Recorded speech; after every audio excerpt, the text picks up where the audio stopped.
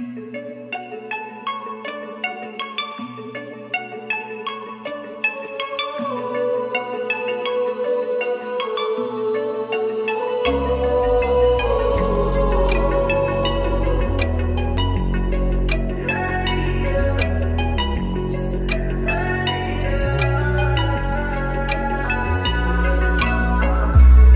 know who you are, let me show ya. Don't know you a star, let me show ya. Greatest by far, let me show ya. Don't know who you are, let me show Look at his shirt. He ain't got it tucked in. You see how people always wear their shirt out? Because you know why? We always wore fringes. Read that. Verse This 39. And it shall be unto you for a fringe, that ye may look upon it. See that? The reason why we have the fringes, we're supposed to look upon them. You understand what I'm saying, brother? We're supposed to look upon the fringes. Keep going. And remember all the commandments of the Lord. So, you don't have the fringes. You need to start wearing fringes. Because the fringes are going to remind you of the commandments. We're going to show you a commandment. Give me that in 1 Corinthians 6. You already you know For it the all, First? Corinthians chapter 11 verse 3. But I would have you know that the head of every man is Christ, and the head of the woman is the man, and the head of Christ is God. Every man praying or prophesying, having his head covered, dishonors his head. So you know, the Bible says anytime you're praying to the Lord on the east. So when you pray, you're supposed to face east, right? Towards Jerusalem. That's what really you're supposed to face Jerusalem, right? Anytime you're praying or you're reading the Bible or you're teaching the Bible, you're not supposed to have anything on your head. You know when you go to a courtroom, they tell you to take your hat off?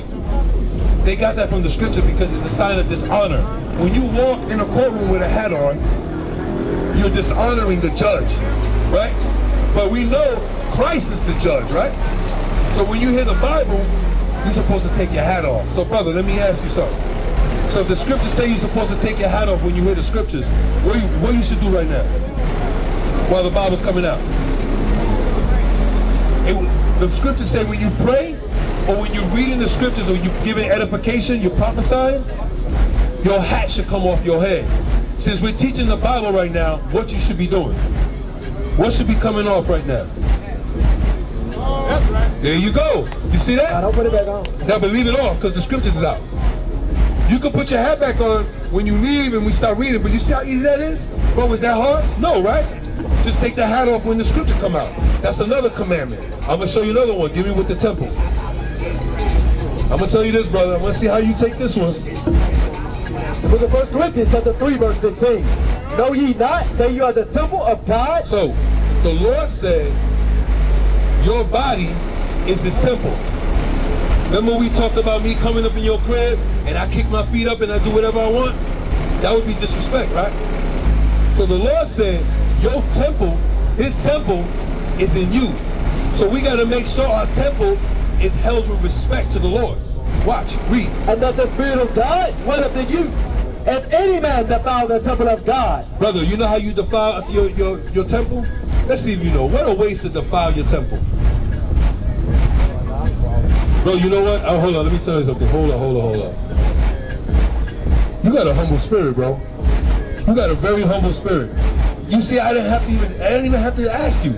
But guess what? You know how come you know that? Because the Lord is dealing with you right now. He's telling you right off the bat. Let me tell you right now. The, the Bible says all scripture, all scripture is given by inspiration of God, right? It's profitable for reproof. So for the fact that you can con- confess to me and you know what you're doing is defiling yourself, then I already know you're very in tune with what's being being taught right now. And bro, I'm gonna tell you right now, and I gotta say this to be honest with you. When I see things like that, that scares me because then I really start to ask myself, am I gonna see you again? Because I'm not even having to explain to you, and you're saying it out your own spirit. Because the scripture said, the word that I speak unto you, they are spirit and they are life. Bro, your spirit is confessing to what that scripture means. I didn't even have to explain it to you. You didn't even let me finish. So let me ask you something. Go to 1 John 5 and 3. Watch this. Remember we looked up, we're supposed to love the Lord, right? Fear him, right? You confess what you said. Now watch this. the book of 1 John chapter 5 verse 3. For this is the love of God, that we keep his commandments. So, if you love the Lord, and you want to keep the commandments, you can't smoke no more, brother. I know it's tough. Watch this. I'm gonna show you. Go to Psalm 119. 119 is uh, uh, lay not. I'm gonna, t- I'm gonna tell you something, bro. Before before I came in this walk, I used to smoke a pack of Newports a day. Cold turkey. I stopped. So if I could do it, bro, you can do it, bro. You know how you know you know how I know you can do it? Because the scriptures say all manner of sin is forgiven. All manner of sin can be forgiven. So if you smoke and you stop, that shows the Lord you love him. Like, Lord, this is your temple. I want to live forever. I'm gonna stop smoking. Because you know why? Because I'm an Israelite. An Israelite should not put to not defile their temple. You understand what I'm saying? And you listening, bro, and that's all praise that you're not you're not bucking, you're not feeling away. Because you know what, bro? I'm gonna tell you why I used to smoke. I smoked because I had so much stuff going on in my mind and I had so many questions in life. Now I knew the answers. I really didn't need to smoke no more because okay, I gotta do what thus saith the Lord. But watch this, read that again. The book of, the book of, the book of Psalms, chapter 119, verse 59. Watch this. I thought on my way. Stop. David said, I thought of my ways. So guess what, brother? When we leave, when you leave, I'm gonna tell you what's gonna happen. The minute you walk out, Satan is gonna go in your mind. Bro, let me tell you, there was a brother I was talking to in Houston about two months ago, and he was doing the same exact thing you was doing. Listening, the brother was listening for hours. I said, bro, am I gonna see you at the school? He's like, yeah, yeah, yeah, yeah. I give you my word, I give you my word. I'm like, bro, from your mouth to God is, you just say you're gonna be there. You know he never came? Well, that still bothers me to this day, bro, because I, I can still remember his face somewhat. I'm like, damn, I'm not good with faces, but how come I remember his face? And I'm gonna remember your face. Because I'm probably gonna ask brother if someone say, hey, remember that brother who was talking to? Does he did he ever come? Did he ever come to the school? I'm gonna ask that question. Because anytime I see a brother real humble, it's scary to me, bro. It really is, bro. Because it humbles me. Because I don't I, I don't take this truth for granted. I don't I, I could easily be bro, I'm gonna tell you, if I didn't know about this, I'd have been doing the same thing. Bro, I'd have met like like I'd have met at least 10 girls off the rip. Because I ain't never had that problem in the world. But I can't do that. The Lord said I'm a God. I can't do that. That's not God ways. That's not the that's not the ways of a king. Right. A king must be disciplined. A God must be disciplined. Right, right. That's why God said, yo, you know by birth, you you have the capability of doing things you don't even can't even imagine. But it starts with changing. You gotta change. Read that again. I thought on my ways. So you gotta do that, bro. When you leave, you gotta you gotta literally think. But I'm gonna tell you something, bro. Somebody's gonna call you. Somebody's gonna be like, yo, let me ask you. You smoke weed? You don't. Okay, all praises. All praises. Somebody gonna come to you and try to derail what we told you. Because that's the way Satan get down. Because this Christ talked about in Mark 4, the parable of the seeds. He said he threw a seed out. Some people, the bird come, take it right away. Satan come, take it right away. We get that a lot. We'll talk to somebody and they get easily distracted and bounce. But you've been standing here for a minute. So right now, Satan can't really mess with you right now. Because you you in the you in holy ground. So right now, spiritually, you're protected because you are you with us. The Lord said He protects his, he, the righteous man. The righteous is never forsaken. So you in the realm of righteous people. Right. But the minute you leave, that's between you and the Lord, bro. I don't know if the Lord got whatever He got set for you, I, but I pray it's, it's, it's for life, bro. I pray it's life, bro, because I think about that all the time, bro.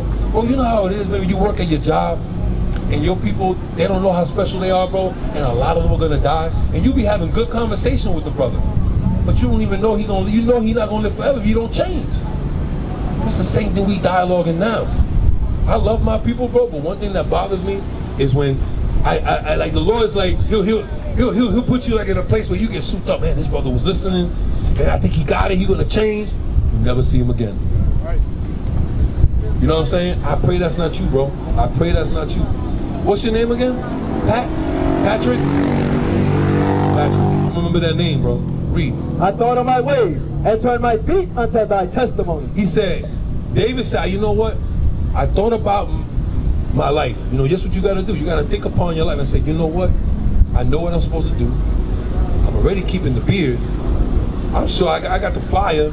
All I got to do is call these brothers and see what they're about. Let me Right. see if these brothers really about that brotherly love. Let me see if these brothers really going to treat me like the scriptures say. They're going to love their neighbors, you love thyself. Right. And I'm going to tell you, you're going to see that there. Right. You're gonna see that when you Right. go in that school. You don't, you, you're not even gonna think you in You're not even gonna think you're on this planet. When you get inside the school, you're like, damn, I never want to leave. You're gonna look to long to be there every day. Right? But David said he turned upon thy testimony. So you gotta turn, you got the Lord is showing you that you gotta think upon your ways and say, Am I willing to change to gain everything? Am I willing to lose everything now to gain everything in the future? You gotta ask yourself that question. Keep going. I made haste and delayed not to keep thy commandments. See that? He said, I made haste. I delayed not, meaning I in front, I'm gonna do the commandments. You gotta ask yourself that question, bro. What are you gonna do? Give me that precept that he said, uh, uh, uh, on this day choose life or death. Yes, sir, I got you. I'm gonna show you. Because, bro, at the end of the day, look, I'm over here teaching my people. The kingdom is not even solidified for me yet. Right. Because the scriptures say, "He that endure to the end shall be saved." I know what's coming, and I and I'm afraid, bro. Because I'm like, yo, I don't want to die. To do all this and die, bro. You see all this going on? This is nothing, bro. All this is gonna be fire, bro. All this, everything you see, bro. Just look at everything you see. Imagine just seeing nothing but bones everywhere. You hear what I'm telling you? Just imagine seeing nothing but fire. Everything just burning, bro. Teach. Do you want that? You want to be a part of that? Hell no. But you know what, bro? It takes, you got to ask yourself, what are you going to do? Read that. Then we're going to Deuteronomy chapter 30, verse 19. Watch. I call heaven and earth to report this day against you. So he said, I call heaven and earth this day unto you. So right now, this dialogue we, we having right now is being documented in the heavens as well as on earth. Because every brother that's seeing you to bear witness, the angels are watching you too. Watch. Read. That I have set before you life and death. You see that? I asked you, do you want that e- eternal life or you want that eternal death? And I broke it down to you. I even actually, I even shared something with you in my past life. But you say you don't want to feel that. You want life. You want eternal life. Read that again. I have set before you life and death, blessing and cursing. Therefore, choose life, that both thou and thy seed may live. See that? Choose life. You got children? Oh man, brother. It just get better. What you got, a son, daughter? You got both? Bro, man, now I'm not really hoping, bro, you I'm really hoping this brother changed now. All right. You a family man. You got, a, you, got the, the mother with you too? Not with you. Okay, I understand. But you know what? You still have an opportunity to change and teach your kids. Because I'm going to tell you something right now, bro. I'm going to tell you. The most precious thing in a woman, in a black woman, I'm going to say, is her virginity. That's the most precious thing that a father loses sleep. Because when you see your little girl getting older and older, you be like, man, ain't nobody better break her heart. Am I right or wrong? Well, guess what? Your, your safety net is these laws, bro. Because your little girl gonna be around other little girls wearing dresses, sisters that wear dresses. Right. She's gonna be constantly in that realm of righteousness. So if a if a wicked brother try to holler at her, she's gonna be like, no. My father told me that if I'm gonna marry a man, it has to be a righteous man, Right. a God-fearing man. My father changed his life, and he don't want the best for me. But you know how that's gonna be able to happen? You gotta you gotta change. We used to scream black power while heroin was pushed. But at the end of the day, nothing's in vain. IUIC has been given a vision. The tents of Judah has risen.